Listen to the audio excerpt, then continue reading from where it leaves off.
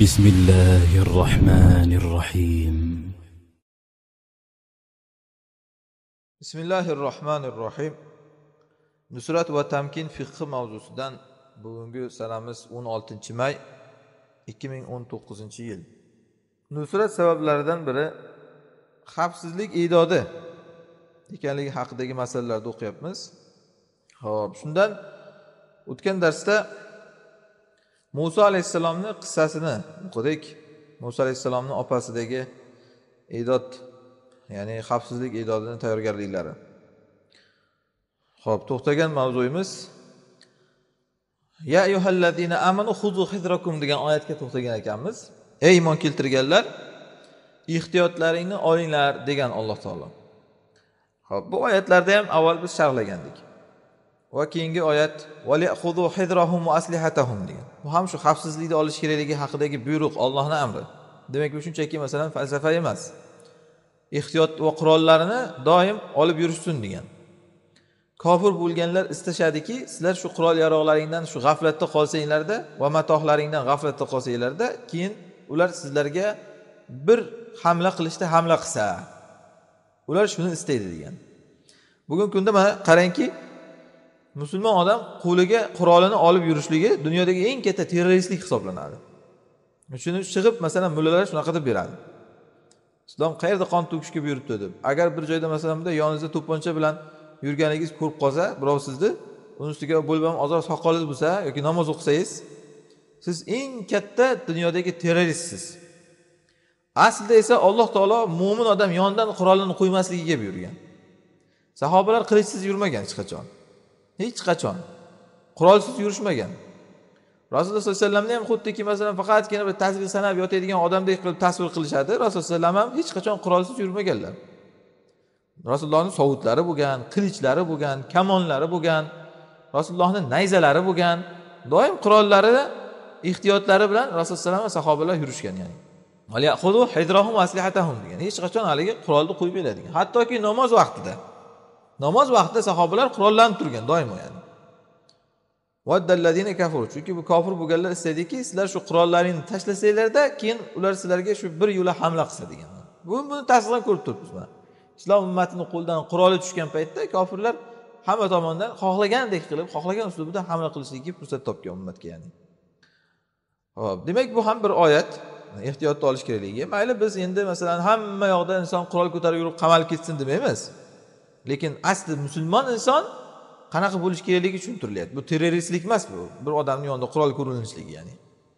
Va o'rni bo'lganda masalan e, ruxsat bor joyda musulmonlar qurol olib yurishligi ham shuning uchun kerak. Ruxsat bor davlatlarda masalan. Unga zarar emas haq hujjati bilan. O'shanaqa joyda musulmon odam yoniga qurol olib yurishligi kerak. Xususan o'sha kofir yurtlarda hamma qurol olib yurganda musulmon odam qurolsiz yurishligi yaxshi emas bu ish. Mana bugungi kunda masalan haligi o'sha masjidda ko'rdikku mana zelandiyadagi voqeada. O'sha yerda bittasi ozroq bir to'pponcha bo'lsa ham bo'lgan deydi cho'ntagida masalanda olib yurganda. O'sha odam kelib xohlagandek qilib hammani olib ketavermasdida. Sal qarshilik bo'lganda xohlagandek qilib olib ketavermasdi yani. Ho'p endi mana siyra nabaviyaga o'tamiz biz. Rasulullohni siyratlaridan xavfsizlikka misollar. Ho'p siyra nabaviya ala sohibi vassalam deyapti. Hop rasulullohni siyratlari bizga yorqin namuna va keng ko'lamdagi bir chiziqlarni qoldirib ketgan xavfsizlik masalasida deyapti. Ya'ni bir misollar qoldirib ketgan demoqchi. Musulmon kishini hayotida xavfsizlik qanaqa bo'lishi kerakligidan. Biz makka davrida shuni yorqin alomatlarini topamiz. Maxfiylik va sirriylikni ya'ni shuning uchun ham qarangda mana makka davrida deganni aytib o'taylik o'qiyotgan namozimizni qarang.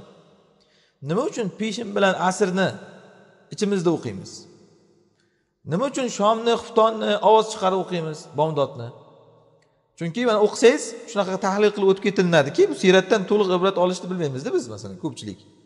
Ha chunki islomni avvalida makkada namoz o'qilgan paytlarda kunduzlari ko'chalarda mushuklar izg'iyib yurar ekan kim namoz o'qiyapti eshitib qolsa kelib azob berar ekan ammo shomda bo'lsa o'zi ovqat yerkan hamma o'zi bilan o'zi bo'lib uyda o'tirar ekan shom vaqti.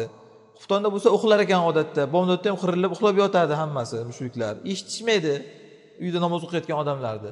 Ular quloq solib yurardida uylariga ular. Qani namoz o'qiydimi uyda birovni? Ana shu uchun ham shomda xuftonda e, yoki bomdodda ovoz chiqarib o'qilaverar ekan namoz mana. Peshinda asrda bo'lsa ko'chada odatda izg'ib yurishadi. Eshitib qolmasin shular namoz o'qiyotganimizni deb ichimizda o'qilar ekan namoz. Shu uchun shunaqa bo'lib qolib ketgan ekan keyin. Ho'p nimaga qolib ketgan? Shu joyini qarang. Bugungi kunda masalan hech kimdan qo'rqmaymiz. Baqirib o'qiversak bo'lmaydimi peshindan asrda ham? Nimaga shu qolib ketgan? Ummatga qiyomatgacha shu narsa dars bo'lsin deb qolib ketgan. Bekorga emas u ertak bo'lib. Qiyomatgacha dars bo'lsin. Demak o'rni kelganda maxfiylik qilinadi o'rni kelganda jahriy qilinadi mana. Xuddiki namoz singari. O'rni kelganda baqirib namoz o'qiymiz o'rni kelganda ichimizda namoz o'qiymiz. Ana shu ummatga qiyomatga qadar bir dars bo'lsin deb shu narsa bir qoldirilgan namoz misolida. Uni o'rgansin ummat demak. Hamma yoqda baqirib o'zini e'lon qilib oshkor qilib yurmaydi odam. Shuning uchun ham mana biz topamizki rasululloh sollallohu alayhi vasallam makkada arqom ibn abul arqomni uyini da'vatni sirriy bir maqarri qilganlar. Maqorri ya'ni da'vatni sirriy bir mintaqasi ya'ni joyi. Maqor degani. Maqor deymiz o'zimizda ya'ni. Maqor nima degani? Ya'ni qarorgoh degani. Arqom ibn abil arqomni uyida da'vat qilganlar. Nega? Sababini shuni turadi hozir. Rasululloh sollallohu alayhi vasallam atbolarini ana shu aqida va yuksak xulq ustida tayyorlardilar kelgusi marhalaga. Sirriy uslubda arqom ibn abul arqomni uyida tayyorlardilar. Aynan shu arqomni uyini tanlaganliklarining sabablari bor deyapti. Birinchidan arqom islomga kirganligini hech kim bilmagan. Hamma uni o'zimizdan deb yurgan bo'lgan mushriklar. Shuning uchun ham qarang rasululloh masalan abu bakrni uyini tanlamaganlar borib nima uchun? Chunki abu bakrni uyi kuzatuvda bo'lgan o'zi. Abu bakrni uyini kuzatishgan ular. Abu bakrni bilgan shu kelsa shuniki keladi hamma degan. Rasululloh masalan o'zlarini uyida jamlamaganlar odamlarni. Nima uchun? Chunki aniqki rasulullohni uylarida jamlansalar aniq bo'ladi kim rasulullohga kelayotgan bo'lsa. Arqom islomga kirganligini hech kim bilmagan. Demak qarang mana bizga o'zimizni safimizga qo'shilib lekin o'zini shu bizni safimizdaligini e'lon qilmagan odamlar kerakmikan? Qarangda mana ular kerak bizga. Bizni safimizda lekin o'zini bildirmagan hali bizni safimizdaligini. O'zini kerak bo'lsa o'sha saroy mullalari oldida yurgan qilib ham ko'rsataversin gunohi yo'q uni.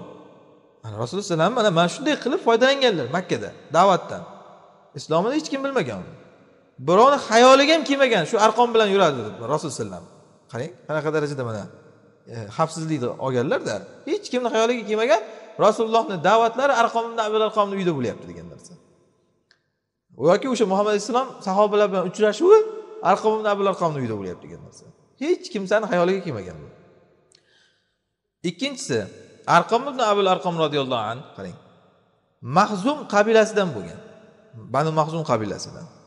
Va banu mahzum qabilasi u qabila doimo banu hoshim qabilasini ziddiga urush va kimuzarlik bayrog'ini tiklab yurgan qabila bo'lgan. Ya'ni banu hoshim qabilasi bilan banu mahzim qabilasini o'rtasida raqobat bo'lgan tinimsiz birov birovga dushman urush kimozarlik bo'lgan bular birov birovni o'rtasida. Hech kimni xayoliga kelmaganki banu hoshim hammasi banu mahzumni yomon ko'radi. Hech kimni xayoliga kelmaganki mana rasululloh alayhi vasallam banu hoshimdan boshqa ko'p sahobalar banu hoshimdan. O'shalar banu mahzumdan ya'ni o'zlarini dushmani bo'lib yurgan mana qabilani bir shaxsini arqomni uyiga borib o'sha yerda ular e, dars o'tib yuradi degan narsa hech kimsani xayoliga kelmagan. Chunki ular bir biriga dushman bo'lgan bu. Ular bir biriga dushman bo'lgan. Hech kimni xayoliga kelmagan. Bular borib turib shunikida majlis qilib yuribdi degan narsa ya'ni. Agarda arqom islomi uni ma'ruf bo'lganda hech xayoliga kelmasdiki uni uyida uchrashuv bo'lishligi deyapti. Ya'ni uni islomi bilinib qolgan taqdirda ham demoqchi ya'ni. Abul arqomni musulmonligi bilinib qolgan taqdirda ham hech kimni xayoliga kelmasdi unikida uchrashuv bo'ladi degan narsa baribir. Chunki aytdik o'zi qabilasi bilan banu hoshimni o'rtasida o'zi adovat bor edi qadimdan ya'ni. Chunki bu narsa bu aniq bo'lib qolardiki dushmanni qalbini o'rtasida bo'layotganligi. Ya'ni e, hozir dushmanni e, safini o'rtasida bo'layotgandida u go'yoki da'vat rasululloh aniq edi bu deyapti ya'ni. Hech kimni shuning uchun ham xayoliga kelmasdi. Ya'ni banu hoshim bilan chunki banu mahsum dushman bir biriga. Dushmanni e, qalbini markazida bo'layotgan ekan demak da'vat. Hech kimni bu xayoliga kelmas edi uchinchisi arqom ibn abul arqom bu kishi islomga kirgan paytda yoshgina yigit bo'lgan. U kishini yoshlari o'n olti yoshlarda bo'lgan ekan qarang deyapti hattoki. Va quraysh u kunda uni fikri shunaqa ediki islomiy yig'inlarni islomiy haligi davralarni izlashda qurayshni fikri shunaqa bo'lardiki hech xayoliga kelmas edi bunaqangi yosh yigitchalarni uyidan izlash islomiy markazlarni deyapti. Muhammad alayhissalomni ashoblari bunaqa yosh yigitchalarni uyida o'tiradi ularni o'ylamaganda ular. Qarang ular o'ylamagan tomondan ish qilish kerak. Ular o'ylaganki masalan abu bakrga o'xshagan shunga o'xshagan katta katta bir oqsoqollarni uyida jamlanadi bularni o'ylaganda o'n olti yoshlik bir yigitchani uyida jamlanadi o'ylashmagan hech qachon ya'ni. Balki ularning nazari va bahsi katta katta sahobalarni uyiga qaratilgan bo'lgan. Yoki rasululloh alayhi o'zlarini uyiga qaratilgan bo'lgan deyapti mana ularni zehniga kelishi mumkin narsa shu ediki yig'ilish g'oliban shu banu hoshimni bir uylarida bo'lsa kerak deb o'ylardi ular. Yoki masalan abu bakrni uyida bo'lsa kerak deb o'ylardi yoki boshqani uyida bo'lsa kerak deb o'ylardi ana shu uchun ham topamizki rasululloh alayhivasallamning ixtiyorlari makkada da'vatda. Bu g'oyatda hikmat bilan bo'lgan deyapti mana. Xavfsizlik tomonidan. Hikmat bilan bo'lgan. Hech qachon biz eshitmaganmizki quraysh biror kun o'sha markazni bosib kirib o'sha yerda taftish qilganligini o'sha makonni uchrashuvni o'sha yerda bilib olganligini hech eshitilmagan deyapti. Ya'ni arqom abul arqomni uyini quraysh bosib kirgani musulmonlarni o'sha yerda yig'ilayotganligini bilib qolganligi hech uchratilmagan nima uchun? Chunki hech kimni xayoliga kelmagan.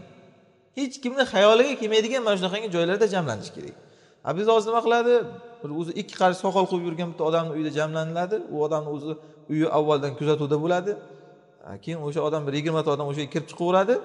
Qarabsizki o'n kun yigirma kundan keyin bosib ketgan u yerni yoki o'zi qadimdan hujra qiladi mana odam deb ma'ruf bo'lib yurgan bir odam bor o'shani uyida majlis qiladi ilm majlis qiladi davra qiladi. Keyin qarabsizki bir yigirma kundan keyin yigirmata odam bosib ketgan kelib bo'ladi. Biz qiyin hozir vaziyat sharoit yomon deymiz qarang rasulullohga oson bo'lganmikan mana? Sahobalarda oson hamma ularga gullar sochib bunday masjidlarda ma'ruzalar qilganmikan ular mana? Ular ham mana shunday berkinib maxfiy da'vat qilgan. Hozir masalan buni ayb hisoblayaptiku mana saymullalar qaysi bir go'rda g'orda berkinib olib gapiryapsan o'tirib olib deydi. Rasululloh alayhi xuddi shunday qilganlar mana. Bir burchaklarda hech kimni xayoliga kelmaydigan joylarda o'tirib olib gapirganlar o'sha yerda. Da'vat mana shunaqa ko'karadi. Bu hammaga tegishlida bu. Shunaqangi salomullarga ham buni ayblayotgan yoki mana o'zimizni ichimizda ham shunday e'tiborsizlik qilayotganlarga. Unaqangi haligi o'zi shundoq ham hamma nazar tushib o'tirgan odamlarni atrofida yig'ilmaslik kerakda demak biz mulohaza qilaylik deyapti. Payg'ambarimiz sallallohu alayhi vasallam xavfsizlik tizimini bino qilishga ehtimom qilganlar shunday ya'ni shunga e'tibor qaratganlar. Da'vatda xavfsizlik tizimi bo'lishi kerak. Va o'zlarini atbolariga ana shu qabilalarning ichida e, sa'y qilishlik uchun ya'ni da'vatga tamkin bo'lishligi uchun ana shu ruhni ekkanlar deyapti. Ya'ni qabilalarni ichiga o'zlarini atbolarini ekib chiqqanlar rasululloh sallallohu alayhi vasallam. Tamkin bo'lishligi uchun da'vatga. O'zlarini atbolarini qabilalar ichiga ekkan deganliklari hamma joyda rasululloh sallallohu alayhi vasallamni odamlari bo'lgan. Toki bir teshik yopilinsa boshqa teshik ochiq qolsin. Ana shu joydan borib da'vat da'vatni davom ettirish imkon bo'lsin ya'ni. Ana shu uchun mana qarang hattoki o'ziga dushman sanalingan banu hoshimga dushman sanalingan qabila banu mahzibdan bittasi bor o'sha yerda rasululloh borib da'vat qilib kelyaptilar mana.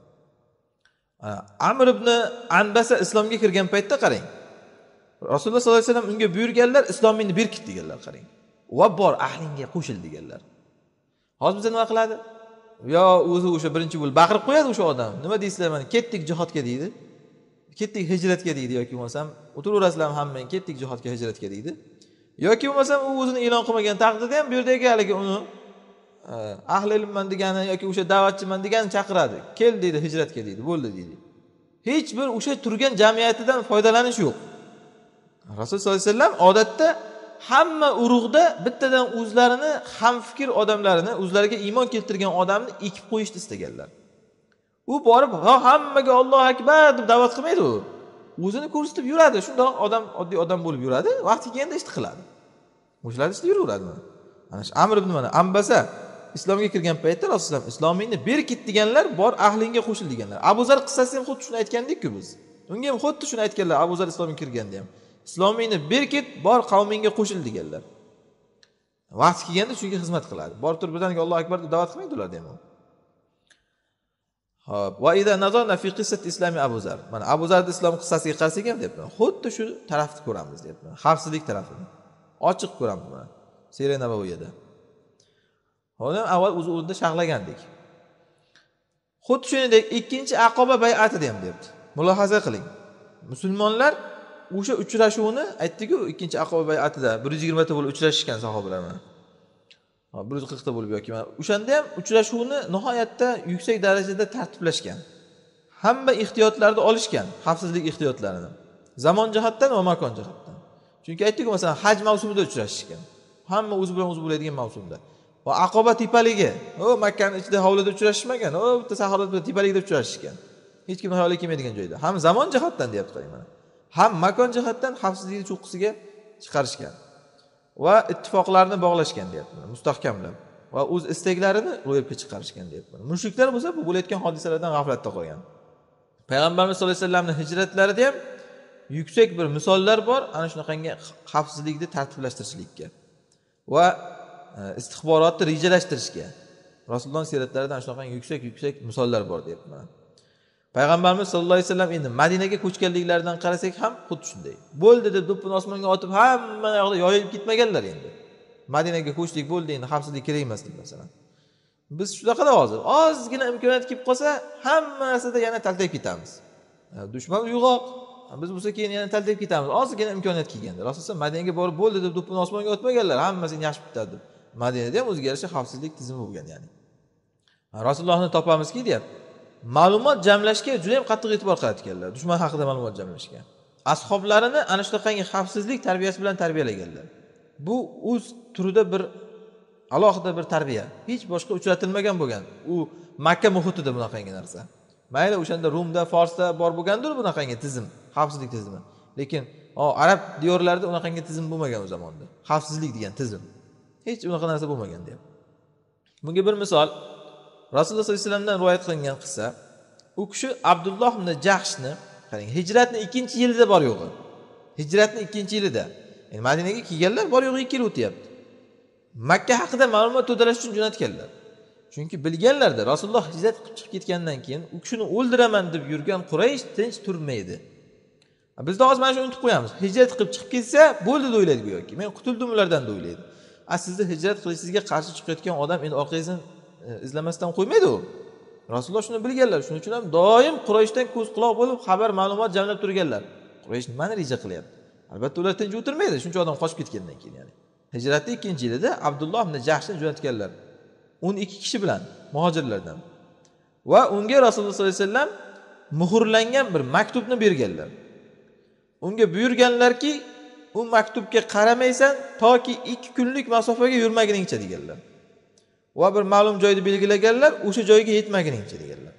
Ya'ni mana shu yerga qarab ket deganlar. Buyurilgan vazifa shu. Haligi maxfiylik darslarida aytdiku ana shu ketayotgan o'n ikki kishi abdulloh ibn jahsh boshchiligidagi o'zlari qayerga ketayotganligini bilmagan ular. Tasavvur qilyapsizmi? Maxfiylik shu darajadaligini.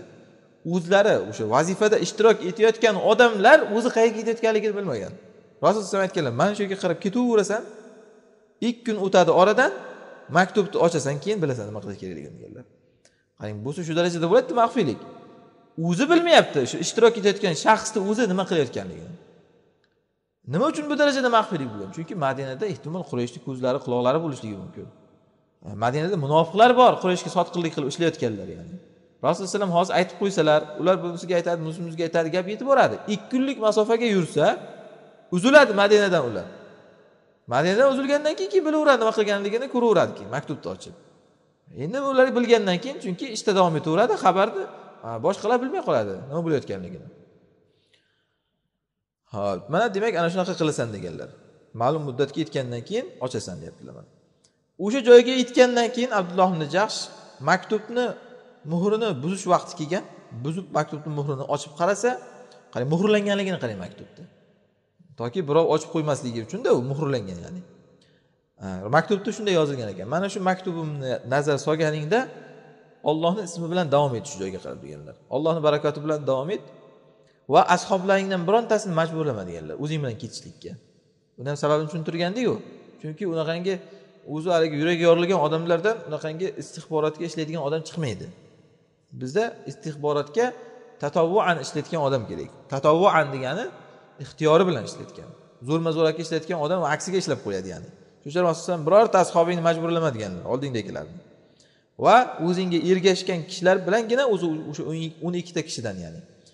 Yo'lga davom et hattoki nahla degan vodiyni o'rtasiga borguningcha o'sha yerda borda qurayshning karvonini pistirma qil va ularni xabarlaridan bizga bilib kel deganlar. Nechta karvoni bor qancha tuyasi bor qurayshni ma'lumot mana. Urush qilmaydi ular. O'n ikkita odam borib karvonni urmaydi borib masalan birdaniga ma'lumot yig'ib keladi. Ish mana demak qarang qanaqangi reja bilan bo'lishligi kerak. Mana bu vazifada demak bir necha ishlarni mulohaza qilaylik deyapti. Sirriylikni qarang maxfiylikni. Bu sirriy istitlo deyiladi ya'ni xabar topish maxfiy suratda. Uning g'oyasi shu bo'lganki dushmanni kuzatish bo'lgan mana. Uning xabarlaridan xabardor bo'lish bo'lgan. Bu shunaqangi istikshafiy sariya bo'lgan. Ya'ni ma'lumot yig'adigan guruh degani. Mana hozir askarlar o'zini oldiga qo'yadi shunaqangi guruhni. O'tgan darsda aytdikku hattoki uni urushga tiqib yuboradi shunaqangi qalang qasang askarchalarni. Dushmanni ichiga urushga tiqib yuboradi maqsad u yerda u qalang qasanglar borib fath qilib ketmaydi albatta u yerda. Birovni o'ldirolmaydi ham kerak bo'lsa. Maqsad raqibni kuchini bilish bo'ladi. Askarlar mag'rurlarni oldinga qo'yib yuborish bilan. Qani qay darajada ular javob qaytaradi. Qanaqa o'qi bor ularni qanaqa qurollardan foydalanishyapti raketasi qanaqa e, adadi qancha ularni hammasidan ular foydalanib mana shunda ma'lumot yig'adi. Keyin shunga qarab urush qiladi. Yoki o'zini yoniga qo'yishadi askarlar shunaqangi e, askarlar deyapti av ala nagfil mag'ofiril amamiya fi jihatil xital deyapti. Yoki urush jihatidan shunaqangi qalqon sifatida oldiga qo'yishadi. Bu mag'rur odamlarni ya'ni ularni vazifasi muroqaba bo'ladi deyapti. Ya'ni kuzatuv. Va xabar to'dalash bo'ladi hech dushmanga yo'liqmaydi ular. Dushmanga borib dushmanni gijgijlamaydi yoki dushmanga borib ular bilan yoqalashmaydi yoki urushmaydi deyapti. Ma'lumot yig'ib kelish kerak bo'lgan. Ana shuni hozirgi zamonda istixborotul hujumiya deb nomlanadi. Ya'ni hujumchi istixborot yuqorida aytgan gapimiz o'zi shu. Ya'ni hujum qiladi hujumdan maqsad u yerda birovni o'ldirish yoki e, birovni u yerda fath qilib yuborish emas o'lkasini istixborot hujumdan maqsad. Ma'lumot yig'ish ya'ni. Uni hadafi deyapti ma'lumot jamlash dushmandan. Faqatgina o'sha bu islom davlatini foydasiga bo'ladi. Ho'p endi qarang bizda musulmon jamoat tarzida shu narsa bo'lishligi joizmi? Ya'ni masalan e, oddiy bir oddiy mujohidlarni bizda hech qachon insonni oddiysi bo'lmaydi shuni unutmaylik biz. Musulmon tarzida bizda bunday odam past odam va yuqori lavozimdagi odam bo'lmaydi. Lekin shu mujohidlarni masalan shijoatliklari bo'ladi. Men shahid bo'lishni istayapman deganlar. Menga boshqa narsa kerak emas. Qo'yinglar shu men shahid bo'lsam bo'ldi deganlar bo'ladi. O'shalarni oldingi safga qo'yib yuborib o'shalarni oldingi safga qo'yib yuborib dushmanga hujum qildirtirish. Ular fath qilib yuborolmas to'g'ri. Lekin biz shuni bilib olamiz. Qani dushmanni qancha kuchi bor nima javob qila oladi qanaqa darajada ularda tayyorgarligi bor. Joizmi bizga ham shu narsa? Agar o'z ixtiyoridan shunga rozi insonlar bo'lsa joiz bu narsa bizga ham? O'shanda buni bilgan musulmonlar o'zicha bir narsani bilib qolgan bo'lib ta'na qilmasligi kerak jihod safidagi odamlarga. Ya'ni bularing qara o'zi orqada o'tirib olganda ana yerda bechoralarni shijoatdan foydalanib birinchi safga qo'yib yuboryapti deb ko'p gapirib yuradi ko'p odamlar shuni eshitasiz hozirgi kunda. Bular o'zlari orqada o'tirib olgan deydi qo'rqoqlar deydi.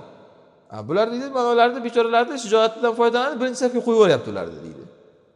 Biz ularni u yubormay qo'yayotganimiz yo'qku birinchi safga qo'yib yuborayotgan bo'lsak. Ular shahid ketishga o'zini birinchidan rag'bati bor. Ikkinchidan ular jo'yamay ketmaydi shahid ketadi. Uchinchidan o'sha islom foydasiga ketadi. Bizni foydamizga emas u. Agar kimdir shunday qo'rqoqlikdan o'zi orqa safga o'tib yuborgan bo'lsa o'zini huzurida olloh huzurida o'zi javob beradi u. Lekin siz bu tuhmat qilmang urush taktikasi bu. Hamma joyda urush taktikasi bu. Birinchi safda ana shunaqangi shijoatlilarni quvib yuboriladi. U hech odamlarga haligi hech kim bilmagan bilib qoldi deb chiqib hamma yoqda keyin shuni shov shuv qilib qo'rqoqlar o'zi orqada o'tirib olib bechoralarni shijoatdan foydalanib birinchi safga qo'yib yuboryapti deydigan narsa emas u. O'sha birinchi safga o'tgisi kelmasa ular ham orqa safga o'tsinda ular ham tadbirga rozi bo'lsin. Odamlarni safi shunaqada endi nima deysiz? Ya'ni ba'zi odamlar borki ana shunaqangi reja taktika degan narsani ularni haligi shijoati ko'tarmaydi. Ey boringlar deb yuboradi to'xta o'pkangni bos reja bilan ish qilish kerak. Bunday urushni haligi strategiyasi bo'ladi degan narsani tushunmaydi. Ana shunda nima qilamiz keyin biz uni? Ho'p bo'ling birinchi safga o'tiring unda deymiz. Bizga o'shanaqangi ma'lumot yig'ib bering siz. Joningiz bilan. Bo'ldi rozimisiz shunga ana o'ting birinchi safga deymiz mana. Ho'p unga rozi bo'lmasangiz reja bilan ish qilish kerakmi? O'ting unda orqaga mana. Reja bilan ish qilamiz unda. Hech kimni biz majburlamaymiz birinchi safga uni qurbonlikka qo'yib yuborib ya'ni. Mana bu hozirgi zamonaviy tilda shu istixborotul hujumiya deyiladi. Ya'ni hujum orqali istixborot yig'ish ya'ni ma'lumot yig'ish degani. Ikkinchidan rasululloh sollallohu alayhi vasallam buyurganlar bir sariya qolsin. Ya'ni bir sariya. ular hatta alaman yahmiluha va sayunfizuha ahzan bil ihtiyatil lazimi va xofan min tasarrubi adna adu bu antaqo sirri deyapti ekan ya'ni maxfiy qolsin deganlar. Shu yuqoridagi abdulloh jahshni e, sariyasi maxfiy bo'lsin shu darajadaki uni hatto olib ketayotganlarga ham uni hatto o'zi o'sha ishni bajarayotganlarga ham maxfiy nima ish qilayotganliklari shu darajada lozim ehtiyot bilan bo'lgan va xavf bo'lganki ozgina bo'lsa ham ma'lumot tashqariga chiqib ketmasin dushmanga. Bugungi kunda buni biz masalan boshimizdan o'tkazib ko'rganmiz. Misrda nimada yotibmiz. Zobit kelyaptida askarlarni yig'yapti. Eshitib turibmiz ovozni askarlarga aytyapti hammang tayyorlan yig'il bir joyga ketamiz deyapti. Shivirlab qulog'iga aytyapti. Lekin eshik orqasida eshitib qoldim men. Shivirlab qulog'iga aytyapti. Bir joyga ketamiz yig'il hammang deyapti. Qayerga? deyapti. Haligi askarchilar haligi askarlarni bir shapaloq uryapti. Nima ishing bor qayergaligi deyapti. Zobit. Bir shapaloq urdi shuni eshitib turibmiz ya'ni nima ishing bor qayergaligi deyapti. Tayyorlan deyapti. Qarang askarni o'zi ham bilgan qayerga ketayotganligini ho'p deyapti. Askarlar hammasi avtomatlarni oldi tayyorlandi yig'ildi. E, keyin moshinaga mindi. Shopir bilmaydi hattoki. Shopir bilmaydi qayerga ketilayotganligini. E, o'zimizda olib ketayotgan paytda o'zim eshitib turibmanda shofirga o'ngga buril chapga buril olib ketyapti. Ya'ni amni davlatni joyiga shopirga. Shopir bilmaydi qayerga ketayotganligini. Shu darajada qay? Bo'lmasam ular nimadan qo'rqadi? Biz masalan ularni bir yo'lda bizni odamlar chiqib qutqarib olamizmi ularni bir otishma qilib ular bilan bizni odamlar masalan. Ular yaxshi biladi uni hech kim unaqa ishni qilmaydi. Lekin nizom shunaqa. Nizom shunaqa. Hattoki mana militsiya xodimlari e, amni davlani ishiga aralashishga haqqi yo'q. Ularni narsalarini o'qishga haqqi yo'q hattoki. Bo'lmasam u ko'chadagi odam emas militsiya u. Amni davlat degandagi haligi xavfsizlik xizmatidagilarni ma'lumotlarini o'qishga ularni ishlarini ko'z quloq bo'lishga uni ko'zdan kechirishga ularni haqqi yo'q militsiya xodimlarini hattoki. Shu darajada maxfiylik ustiga qurilgan tuzum bu ya'ni o'z nomi bilan shuning uchun ham xavfsizlik xizmati. Xavfsizlik xizmati mana shunaqa darajada ishlamasa ishlolmaydi u. Bir dona ma'lumot tashqariga chiqib ketmasligi kerak. Hattoki haligi bunday tergovda qog'ozga yozadiyu sizni og'zingizdan chiqayotgan gaplarni. Yozadi yozadida shuni kompyuterga o'tkazadida qog'ozni keyin yirtib yubormaydi. Moshinkasi bor xos moshinkasi o'sha moshinkaga tashlaydi qog'ozni kukunga aylantirib chiqarib yuboradi shunchaki yirtib yirtib tashlasangiz ham chunki ertaga musorga tashlaganingizda u ma'lumotni olib birov bunday bunday jamlab o'qib olishligi mumkinda hatto musirchi xos musirchi o'z ko'zim bilan ko'rgan narsam. Tasavvur qilyapsizmi qog'ozni o'sha mm, moshinkaga tashlab yuboradi moshinka uni kukunga aylantirib chiqarib tashlaydi qog'ozni. Lekin o'shani yig'ib ketuvchi musirchi xos musirchi. Ko'chadagi oddiy musirchi emas. O'z ko'zim bilan ko'rgan narsalarim bu ya'ni. Shu darajada maxfiylik bilan ishlaniladi. Ma'lumot bir dona harf tashqariga chiqishi mumkin emas. Bu rasululloh sallallohu alayhi vasallamni siyratlari bizga mana shuni asos solgan. Biz qayerdagi bitta kofir murtaddan o'rganmaymiz buni. Rasulullohni siyratlari mana qarang abdulloh jahshni jo'natyaptilar qo'liga muhrlangan maktub beryaptilar. Qo'mondon ham uni tagidagi qo'l ostidagi askarlar ham qayerga ketayotganligini bilmaydi. Ikki kun yurasan borganingdan keyin ochasan maktubni ana shu yozilgan nima deyilishligi keyin o'qiysan belgilangan ishni qilasan deganlar bu hozirgi kunda shuning uchun ham aytyapmizu. Bu qurbon bo'layotgan musulmonlar shu narsani agar amal qilishmasa bu qurbonlik to'xtamaydi. Biz hech qachon mana takror aytyapmiz musulmonlarni o'shanaqangi mana salomullar aytgandek qurbonlikka tayyorlayotganimiz yo'q. Ehtiyotini qilsin hamma musulmon. Kim aytyapti musulmonlarga jar solsin hamma yoqqa keyin qamalib ketsin deb ya'ni.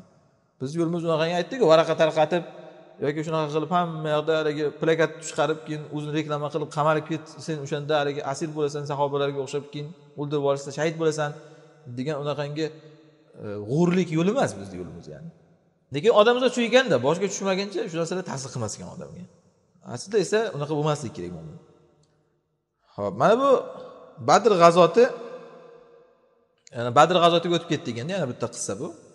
Badr g'azotiga qaraylik deyapti. Payg'ambarimiz sallallohu alayhi vasallam bunda ham katta bir darslar ibratlar hikmatlar qoldirib ketganlar. Ma'lumot jamlash haqida. Dushmanda ma'lumot jamlash va shuni vazifalashtirish mushriklardan g'alabani olib qo'yish uchun. Hammasini rasululloh mana shu badr g'azotda hozir misollarini o'tamiz. Bunda mulohaza qilaylik. Payg'ambarimiz sallallohu alayhi vasallam dushman haqida komil ma'lumot jamlaganlar. Rasululloh sallallohu alayhi vasallam o'zlari o'z nafslari bilan istixborot jihaziga ya'ni istixborot tizimiga bosh qo'shib bo'lganlar o'zlari. O'z nafslari bilan bosh qo'shib bo'lganlar. Va o'z nafslari bilan rasululloh sollallohu alayhi vasallam shu yerda hissa qo'shganlar va boshqalar ham ma'lumot jamlashda hissa qo'shganlar. Makkani mushuklari haqida ma'lumot jamlashgan. Hozir buni misolini o'tamiz hatto bugungi zamonda ham shu darajadaki e, misrda birinchi marta qamalgan vaqtimizda avvalgisida ya'ni keyingisida ham bu narsani ko'rganmiz. E, Amni davlani boshlig'i liva deyiladi. E, katta bir lavozim bu ya'ni. Butun masalan viloyat bo'yicha tuman bo'yicha viloyat bo'yicha desak ham bo'ladi. Viloyat bo'yicha boshlig'i ya'ni. Bizni papkalarni o'zi olib masalan telefonda aytib qo'ysa bo'ladiku to'g'rimi? Qohiradagi haligi nimadagi joyga. Ajnabiylarni ishlari bosh qosh bo'linadigan joyga. O'sha yerda bunday telefonda aytib qo'ysa ham bo'ladi. Yo'q o'zi shu papkalarni olib o'zi borib o'sha yerdagi raisga topshirib kelgan. Masalan bitta askardan berib yuborsa bo'ladi shuni. Yoki bitta mana bir militsiyadan berib yuborsa bo'ladi. Mirshabdan berib yo'q o'zi qo'li bilan olib borib topshirib kelgan papkani. O'zimiz ko'rgan narsa bu. Boshlig'i liva u juda katta lavozimdagi odam. Lekin shu darajada uni ishi birovni qo'lidan o'tmasligi kerak. Shundoq o'zi olib borib o'zidanda kattasi tepaga topshirib kelgan. Ya'ni deport qilinishligi uchun. Xos o'zi shu yerda shu narsani topshirib kelgan. Endi yerda nimalar bor u papkani ichida ollohu alam. Endi shu darajada qarang maxfiy bo'lishi kerak demoqchiman bular shunaqa ish qiladi. U katta odamman men meni ishim emas bu deb o'tirmaydi u. Bunday kichkinaga berib yuborib ya'ni ha mana bu yerda rasululloh sollallohu alayhi vasallam shunday qilganlar. Rasulullohdan o'rnak olamiz. Ulardan emas man takror aytyapman. Ularni misol tarzida aytyapmiz rasululloh o'zlari badr jangida istixborotga bosh qosh bo'lganlar. O'zlari ma'lumot yig'ganlar. Odamlarni ichiga kirib ma'lumot yig'ganlar ya'ni. Va o'z nafslari bilan hissa qo'shganlar. Mushriklar haqida ma'lumot jamlashga mana. Biz mana shu xabar to'dalash uslubini payg'ambarimiz alayhi vasallam qoyim qilgan uslubni mana ma'lumot to'dalashda mushriklarda mana ana shuni hozir ko'zdan kechiramiz deyapti. Rasululloh birinchisi basisa ibn amr degan va adi ibn abi zag'bo degan ikki kishini jo'natganlar. Ular abu sufyonni karvonidan xabar olib kelishligi uchun. Badr jangi asli shu karvon janjaldan boshlangan. Abu sufyon karvoni o'tayotgan bo'lgan madinadan shomga qarab. Rasululloh sollallohu alayhi vasallam shuni sahobalarga aytganlarki karvon o'tyapti ekan men umid qilamanki alloh sizlarga shu g'animat qilib beradi shu karvonni chiqinglar karvonga deganlar. Kim istasa chiqsin deganlar. Majburiy jang emas bu. Shuning uchun ham ba'zilar chiqqan ba'zilar karvonda yuramizmi deganda chiqmagan. O'z ixtiyori bilan chiqqanlargina chiqqan. Shunda rasululloh sallallohu alayhi vasallam yuqorida ikkita kishini jo'natganlar. Basis ibn amr bilan adi ibn abi zag'bon borib qurayishni karvonini abu suyon karvonini ko'zdan kechirib keldi. Necha kishi ular? Nechta tuya? Quroli bormi yo'qmi qanaqa? Ular kelib qaytib xabar qilgan. Karvon yetishlik vaqtini. Ya'ni palon joyda ekan masalan qanday xabar qiladi? Ot tezroq chopadi. Karvon tuyalardan boradi. Tuyalar ular sekin keladi.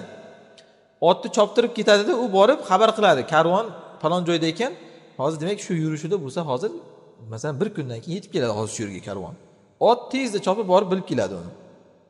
Rasululloh sallallohu alayhi vasallam karvonni qachon yetib kelishligini bilganlar vaqtini shunda rasululloh sollallohu alayhi vasallam va u kishini sohiblari abu bakr siddiq roziyallohu an o'sha karvon yetib kelishligi mumkin bo'lgan joy borku taxminan hozir kelsa shu yerdan o'tadi.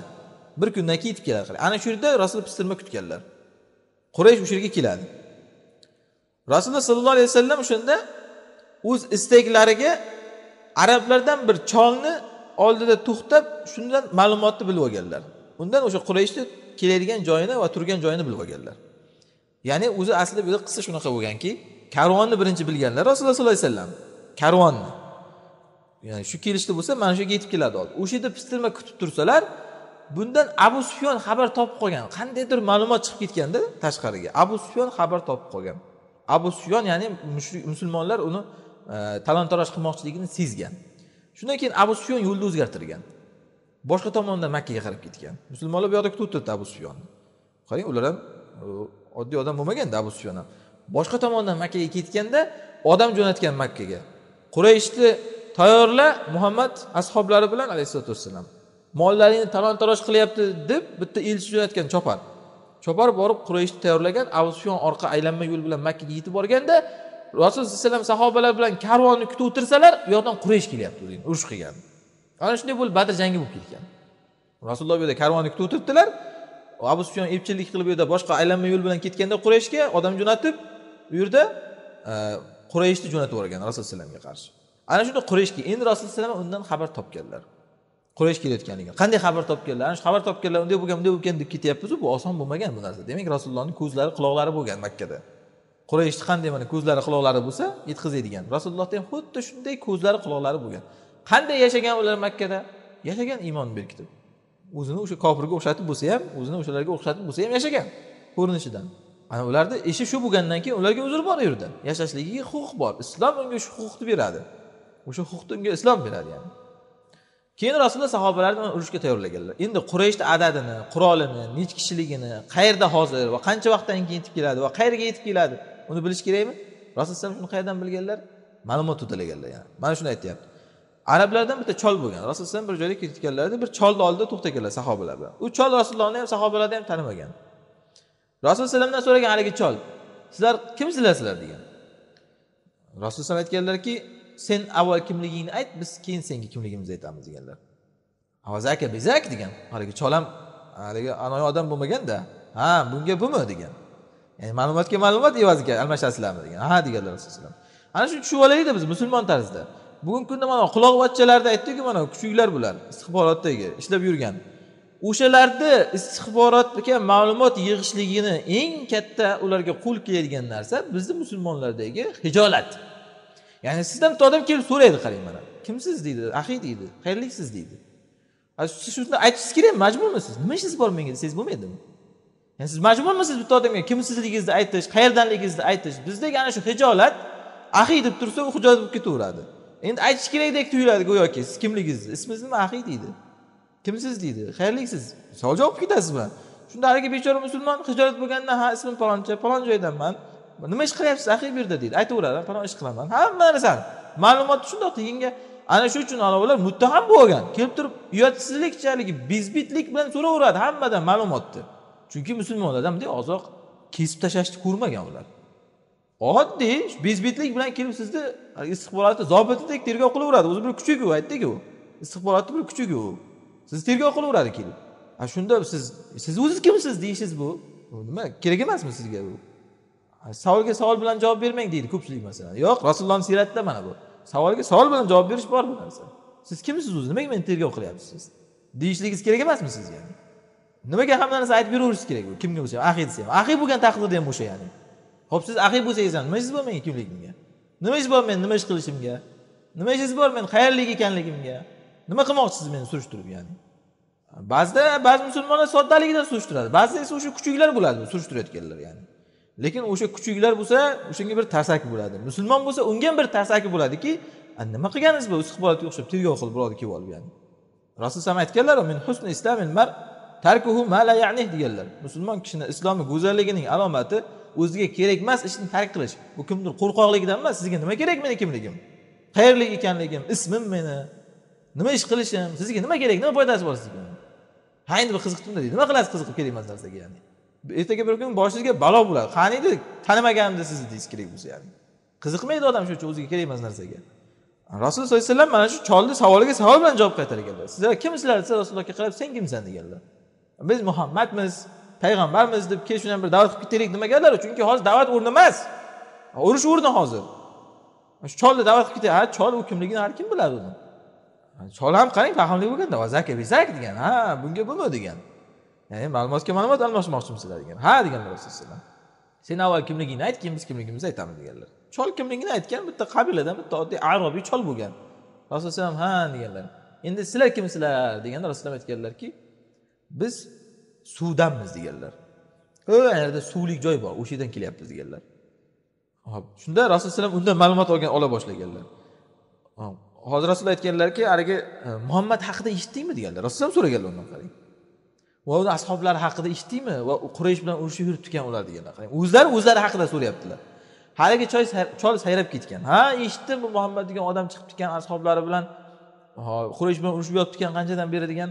Quraysh hozir ular bilan urushga kelyapti ekan degan aytib qo'ygan. Rasululloh aytganlarki nima deb o'ylaysan shu muhammad ashoblari qayerlarda hozir? deganlar. Rasululloh o'zlari mana qarang bosh qosh bo'lib istixborot vazifasini o'zlari bajarganlar. Nima deysan muhammad ashoblari madinadan chiqibdi ekan deganlar chol bilganda uni. Hozir ular madinadan chiqqan bo'lsa quraysh bilan urush qilganda qayerlarga yetib kelgan? degan. Haligi chol aytganki agar degan ular palon kuni chiqibdi emish madinadan degan. Agar ular hozir shu chiqqan bo'lsa shu atrofda hozir ular degan qarang. Shu darajada fahmli chol bo'lganda u ham.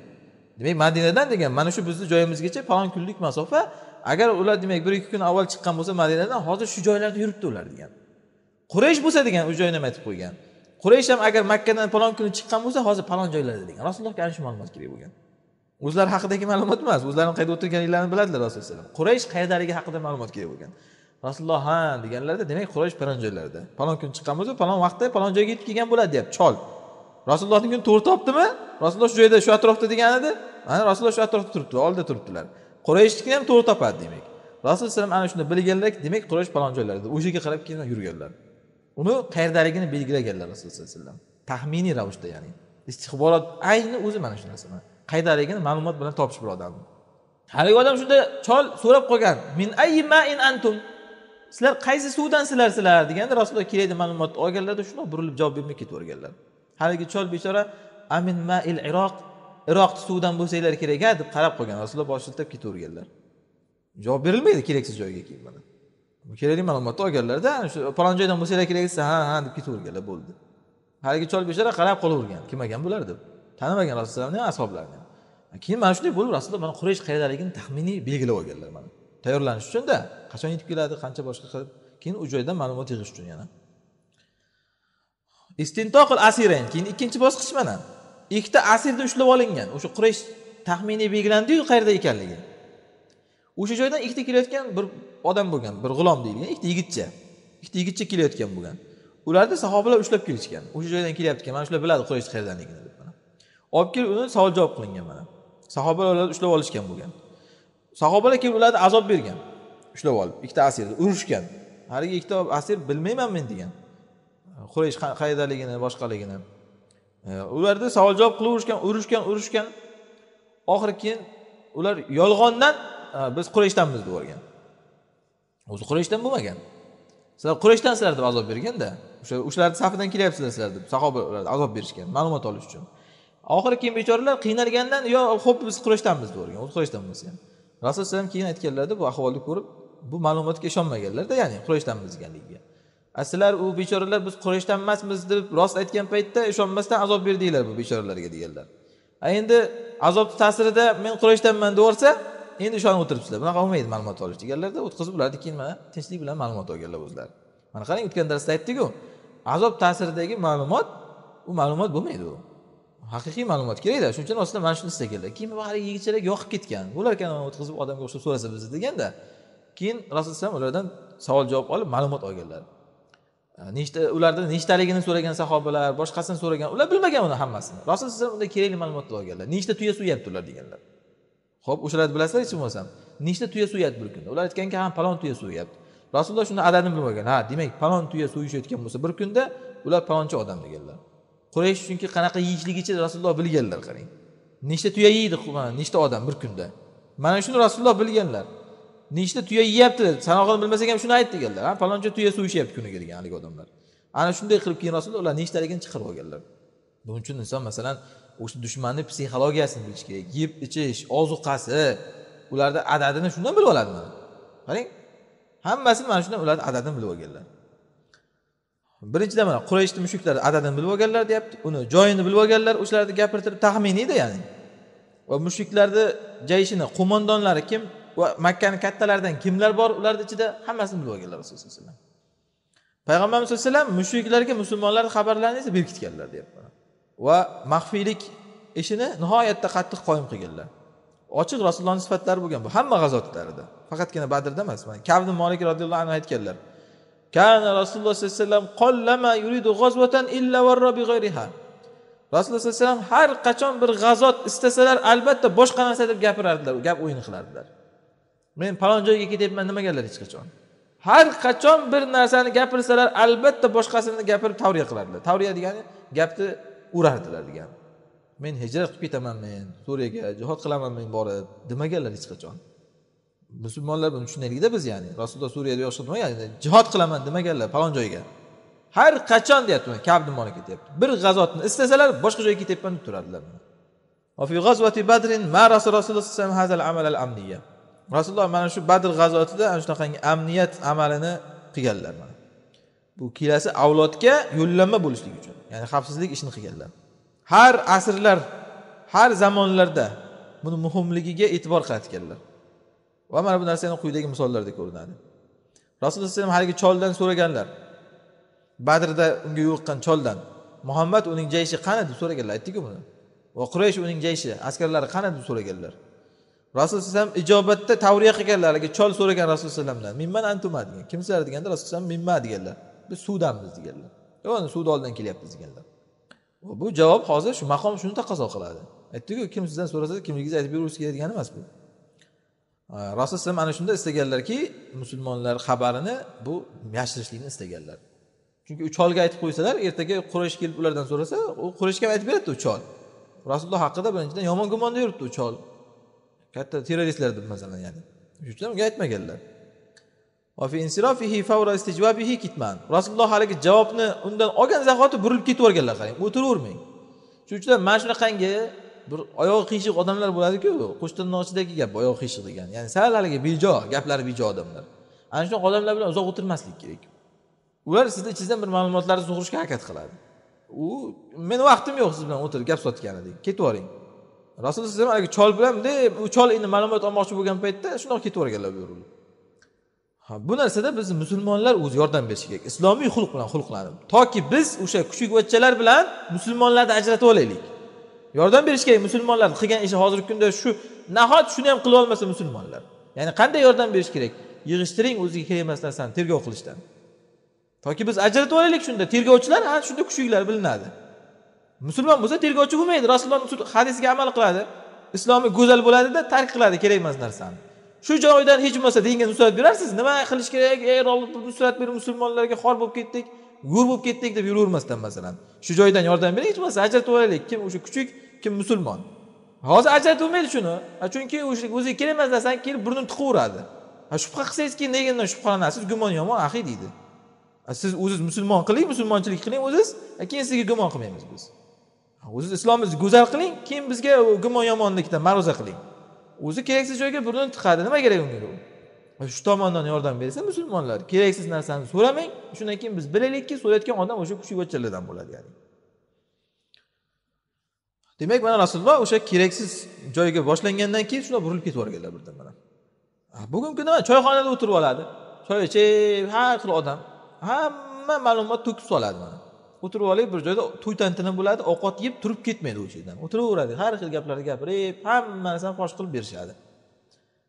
Rasul olloh qarang islomiy axloqlar bilan axloqlanish qanaqangi bizni dinimizni nusratiga daxli bor? Chunki ovqatni yegandan keyin bir to'y tantanada mana xosatan oyat tushgan. Fantashiru ovqatni yedingmi tur tarqal degan. Qorni qashalab g'iybatxona qilib gap sotib yotaverma degan. Chunki keraksiz gaplar chiqib ketadi og'izdan. Islom axloqlari bilan axloqlanish ko'ryapsizmi bizni? Nusratimizga qay darajada daxli bor? Tamkinga nusratga bu xavfsizlikka daxli bor xavfsizlik esa nusratga daxli bor. E, to'y tantanada yig'ilib olib gapxonada yig'ilib olib choyxonada yig'ilib olib hamma narsani sayrashadi o'tirib olib.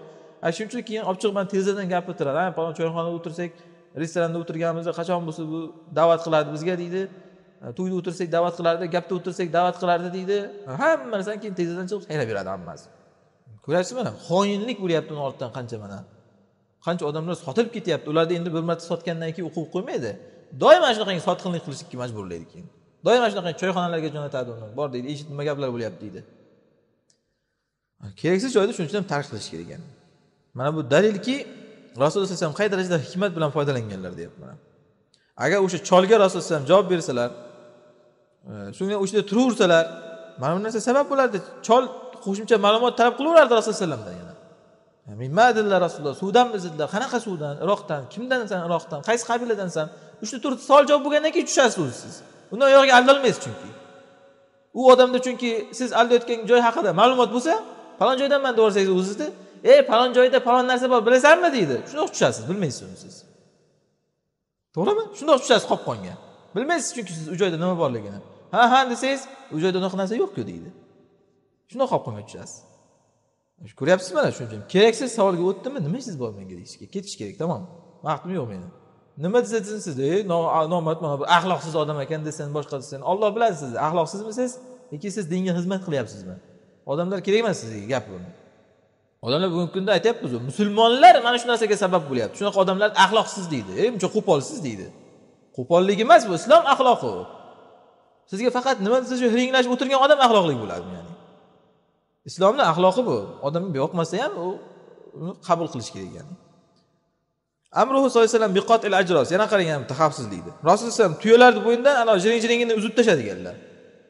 Tuyalarni bo'yniga arablar qo'ng'iroq taqib qo'ygan jiring jiring qilib yuradigan yursa shaqar shaqar shaqar shaqar qilib yuradi. Oyog'iga taqa qaqqan e, yoki boshqa yuziga shu nima bo'yniga jiringroq osgan qo'g'irchoq nima qo'ng'iroq. Uz hammasi mana jiring jiringlar deganlar. Hammaga reklama qilib ketish kerak emasku jiring jiring qilib yo'lda hammaga o'zini eshittirib odam yani. Taqir tuqurlarni uz hammasini tuyalardan deganlar. Ha tuyalarni bo'ynidan ana shunaqa e, qo'ng'iroqlarni uz deganlar. Oysha roziyallohu anhudan rivoyat kelgan. Rasululloh amaro bil ijrosi an min anaqil ibil yawm badr deganlar. Badr kunida tuyalarni bo'ynidan qo'ng'iroqlarni uzib tashlanglar deganlar. Nima uchun qo'ng'iroq osishgan tuyani bo'yniga qisqasi o'zi sababi tuya yurganda jiring jiring qilsa yelkasi qimirlab shijoat kelib ketaveradi. Tuyani shunaqa xislati bor. Jim ketaversa charchab qoladi. Jiring jiring qilsa yurgisi kelaveradi. Yelkalari qimirlab ketaveradida. Aytyaptiku dutorni ko'rsam qo'lim qichib ketaveradi deganga o'xshab tuyalarda ham shunaqada. Haligi bunday haligi jiring jiring qilaversa yurgisi kelib ketaveradi. Tuyani yurishga shijoatlantirish uchun qo'yniga e, bo'yniga qo'ng'iroq osib qo'yishgan. Jiring jiring qilsa haligi uyg'onib uxlab qolmasdan yurib yurib ketaveradi tez tez ya'ni. Ana shuni endi olib tashla hozir mana jiring jiringini deganlar. Kerak emas bizga yurgani hozir. Ol bundan deganlar tuyalarni. Ketmanuhu sallallohu alayhi vasallam jiha allati yaqsiduha. Rasululloh keyin o'zlari ketayotgan jihatlarini ham maxfiy qilganlar. Badrga chiqayotgan paytda. Qarang badrga ketamiz demaganlar. Aytganlarki sahobalarga madinada bizni bir istagimiz bor. Kimni tuyasi hozir bo'lsa biz bilan minsin ketdik deganlar. Qayerga ketayotganligini aytmaganlar badrda ham badrga ketamiz hozir karvonni ushlaymiz karvonni ushlamasak urush qilamiz demaganlar. Bizni bir istagimiz bor bir joyda ishimiz bor deganlar. Kim biz bilan bormoqchi bo'lsa qo'shilsin bizga tuyasi tayyor bo'lsa. Tuyasi tayyor bo'lmasa qo'shilib o'tirmasin hozir ertaga tayyorlayman to'xtab turing degan gap yo'q. Nima uchun? Chunki tayyor emas odam hamma yoqqa jar solib hamma narsani asvo qiladi. Mana shuni tushunib olish kerak. Tayyoring naqdmi tuya deganlar min ketdik tamom. Hozir boray xotinimga aytib kelay e, tuyani tayyorlab kelay uni ana egarini o'tkazib qo'yay unaqa emas. Hozir mana tayyormi? Yigit oldida tuya tayyormi ketdik deganlar. Chunki hozir boray deganda ketadida xotiniga aytadi. Biz ketyapmiz bir joyga deydi. Amakisiga aytadi o'g'liga aytadi hamma yoqqa jar solib keladi borib yana. Naqd tayyor odamni shunday olganlarda chiqib ketganlar badrga mana. Qarang shunda mana muvaffaqiyat bo'ldi mana. Badrda musulmonlar g'olib bo'ldi shunchagina odam bilan. Imom navoiy rahimaulloh mana shu hadisdan olgan ekanlar jangda tavriya mustahab degan bu aytyapmizu bitta tog'utdan o'rganayotganimiz yo'q buni rasulullohdan o'rganyapmiz biz jangda tavriya mustahab tavriya degani gap aylantirish ma'lumot istixborot yig'ish. Bu narsa mustahab jang vaqtida ya'ni. Va qo'mondon odam o'zi qasd qilgan jihatni bayon qilmasligi kerak. Toki xabar tarqab ketmasin va o'sha dushman ogoh bo'lib qolmasin. Dushman ya'ni favqulodda borilsin uni oldiga. Ana shuni rasululloh alayhi istaganlar. Vakana sallallohu alayhi vasallam yahtamu bi harakati aduvi. Rasululloh alayhi dushman harakatiga ana shunday ehtimom qilganlar. Shuning uchun ham qabilalarga islomga qarshi bo'lgan qabilalarga ixtiroq ya'ni ular yorib kirilishligi rasululloh alayhi tomonidangina bo'lgan odatda. Ya'ni masalan biror marta uchratmagansizki musulmonlarni safiga dushman yorib kiribdi degan narsani rasululloh zamonida. Ya'ni bir bir sahobiy bo'lib yurgan ekanda bitta odam o'zi aslida lekin sahobiy emas ekan u. Aslida u boshqa quraysh odami ekan u degan narsa uchratilmagan to'g'ri munofiqlar bo'lgan lekin munofiqlarni hamma bilib yurgan kimligini ularni ixtiroq ya'ni yorib kirilish safimizga ichimizga. Hech qachon bo'lmagan rasululloh alayhi saflarini ichida. Lekin aksi bo'lgan. Hamma safni ichida rasululloh alayhi yorib kirgan bo'lganlar.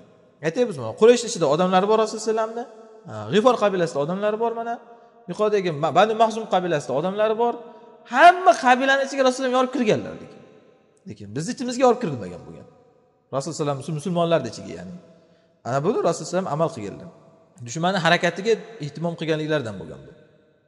Shuning uchun ham rasululloh alayhi doim dushmanlarni bosib borganlar bir necha marta bo'lgan bu hodisa. Hech qachon ular bosib kelib qololmagan. Mana qarang quraysh mana qarang. Badrda o'zicha bosib kelaman deyapti lekin rasululloh alayhi o'zi xabardor nima bo'layotganligidan uhudda o'zicha endi bosib kelamiz degan rasululloh o'zi xabardorlar hamma rejani qilib uhudga chiqqanlar. Ahzobda endi bo'ldi bosib kelamiz bitta biz emas hamma atrofda qabilalar bilan deganlar lekin o'zi rasululloh xabardor. Madina atrofida qandoq qozib tayyor bo'lib turganlar ular kelgunga qadar. Kelsalar handaq bor? Tomini tashib tushganda ular hayron qolgan. Hammasi biz bosib kelyapmiz desak handaq qozib qo'yibdi ular degan. Hammasida rasululloh sollallohu alayhi vasallam dushman nima qilyapti? Xabardor bo'lganlar lekin hammasida dushman rasululloh nima qilyapti? Bexabar bo'lgan. Bu narsaga qanday erishiladi maxfiylik va istixborot bilan. O'zimizni ishimizni maxfiy qilish istixborotni esa kuchli ishlatish ya'ni xabar to'dalashlikni ana shu bilan erishiladi bu narsaga yani. Shu uchun ham aytyapmizu kim dod desin kim voy desin rasululloh alayhivasallamni haligi xumondon degan nafsni rasulullohga ishlatishga rasululloh alayhi nima askar bosh bo'lganmilar deydi. Kim bo'lganlar? Shuncha gapni bilganingizdan keyin mana ayting o'zi insof bilan. Kim bo'lganlar? Sufiylarni boshlig'i bo'lganmilar rasululloh alayhi vasallam ya'ni. Tasbih sanab yotadigan faqatgina. O'rni kelganda uni ham rasululloh hammadan kuchli qilib qo'yganlar mana.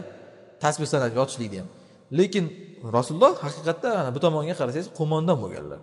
Uni sizga aytishmagan bo'lsa mullalar u rasulullohni siyrati emas degani emas bu yani. Quraysh mana rasululloh alayhivasallamga bosib kelaman degan badrdan keyin ham. Uhud jangida. Endi badrda bir ta'zirni yeb ketishgan. Endi bu qissaga hozir kirishmadik biz. Biz kerak joyini sharhlab o'tyapmiz badrda ya'ni. Ta'zirni yeb ketdi mana badr jangida quraysh. Endi bosib kelmasak bo'lmaydi bir deb bosib borishgan rasululloh alayhivasallamga kelasi yil mana uhud jangida. Lekin rasululloh alayhi vasallamni makkadagi istixborot maktabi madinadagi qo'mondonga tobe bo'lgan bu. Ya'ni rasulullohga demoqchi. Rasulullohga birma bir ma'lumotlari jo'natib turgan. Ya'ni bu yerda hozir e, unday bir zamonaviy islohlar bilan gapirilyapti. Hech qanaqa makkada rasulullohni maktabi bo'lmagan. Maktabi deganda ofislari ya'ni. De ishlab turadigan ofislari. De ochib olib. Lekin maqsad bu yerda rasulullohni quloqlari bo'lgan makkada demoqchi. Rasulullohni makkada quloqlari bo'lgan. Nima bo'lyapti? Quraysh nima qilmoqchi? Nima demoqchi? Ana shuni rasulullohga yetkazib turgan. Э, uhudda ham xuddi shunday bo'lgan madinadagi qo'mondonga ya'ni rasululloh sallallohu alayhi vasallamga e, makkada o'zi quraysh uhudga tayyorlanib chiqa boshlagandan o'zi xabarni yetkazib qo'ygan bo'lgan. Quraysh chiqyapti yangi jang bo'lmoqchi ekan deb ana uhudda keyin o'sha jang bo'lgan mana. Rasululloh sollallohu alayhi vasallam quraysh xabarlarini bilib turishga doim haris bo'lganlar. Chunki dushman sizdan bir kaltak yegandan keyin tinchimaydi u. Shuni unutmaslik kerak. Dushman sizdan bir kaltak yegandan keyin tinchimaydi e, hozir mana badrda bir kaltak yedi quraysh. Endi bo'ldi zo'r bo'lib ketdi hammasi degani emas ular tinchimaydi yana keladi. Ana shuni rasululloh alayhi vasallam bilganlarda shuning uchun doimo makkadagilardan xabardor bo'lib turganlar. Nimalarni reja qilyapti ular ya'ni rasululloh mana shunda kimdan foydalanganlar makkada asosan? Amakilari abbosdan foydalanganlar. Amakilari abbosdan. Abbos musulmon bo'lib islomni bekitib yurgan odam bo'lgan. Rasululloh sallallohu alayhi vasallamni buyruqlari bilan makkada qolgan. Abbos yana makkadagi oddiy masalan bilolga o'xshagan bir bechora odam bo'lmagan. Makkani oliy tabaqasini ichiga aralashib yuradigan odam bo'lgan abbos. Abu jahl deysizmi abu lahab deysizmi boshqasi deysizmi abu sufyon deysizmi hammasini katta oliy tabaqani ichiga kirib chiqib yuradigan odam bo'lgan abbos. Ana shu uchun rasululloh sallallohu alayhi vasallam amakilari abbosdan foydalanganlar. Abbosni ishi shu. Masalan qarangda shunda? Abbos madinaga olib kelib olsak nima bo'lardi? Abbos madinaga olib kelib olsak nima karomat ko'rsatardilar abbos? Oddiy odamlardan bitta odam bo'lardi yurardi. To'g'rimi? Lekin makkada tursachi abbos oddiy odam qilolmaydigan ishni qilardi o'sha kattalarni ichiga aralashardi yurardi ularni ishidada ichida orasida bizga shu ular nima reja qilayotganligini ma'lumot yetkazib turadi. Shuning uchun ham ana abbosni bu yerda dinga xizmati hijrat bo'lmagan shuni bilaylik mana. Abbosni dinga xizmati qurayishni ichida yurish bo'lgan. Dinga xizmat bu. Shuning uchun ham hamma o'zini qo'sh tirnog'ini o'zini haligi saviyasicha o'lchamasin u. Diniy fazilatlardida ya'ni faqat hijrat faqat jihod deb ya'ni hammani o'zini ishi bor mana shunaqa. Ibn abdulbar aytganlar rasululloh sollallohu alayhi vasallam e, mushriklarni xabarlarini rasulullohga e, vakana sallallohu alayhi vasallam deb qo'yibchida vakana roziyallohu anhu bo'lishi kerakda. Ya'ni ibn abdulbar aytyaptilarki abbos roziyallohu anhu mushriklarni xabarlarini rasululloh sallallohu alayhi vasallamga yozib yetkazib turardilar. Musulmonlar makkada u kishi bilan quvvatlanib turardilar abbos bilan. Yordam berib yurardi makkada musulmonlarga. Iqtisodiy tomondanmi mana abbos? Himoya qilibmi? Yordam berib yurardi makkada. Ana shunaqa makkada o'shalar bilan quvvatlanardilar ya'ni. Makkadagilar yoki abbos bilan quvvatlanardi.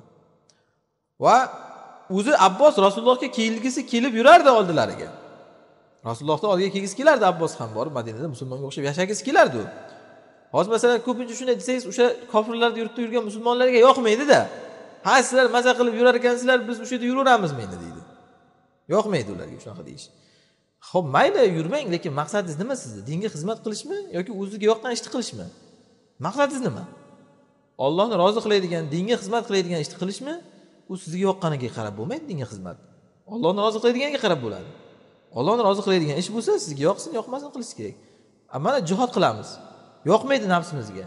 Lekin ollohni rozi qiladi shu deb qilamizmi? Tamom sizni ham jihodingiz o'sha bo'ladi. Nafsizga yoqmaydi. Yuraverish o'sha yerda sizni ham. Lekin endi sizni jihodingiz o'sha bo'ladi. O'sha yerda kerak odam bo'lsangiz agarda ya'ni. Abbos ham madinaga rasulullohni oldiga kelgisi kelardi. Rasululloh unga yozardilar an maqomak fi makkata xoyr dedilar. Anna maqomak fi makkata xoyr makkada turganing yaxshi seni dedilar amakilariga yoki shu makkada turganingiz yaxshi dedilar shu yerda turavering dedilar ya'ni. Bu narsa mana siyrat kitoblarida kelgan ya'ni. Ho'p shu mavzuni ham o'qib qo'yamiz degandik. Hop vaqtimiz yetmadi. Kelasi darsda inshaalloh shu joydan davom ettiramiz. Vallohu alam.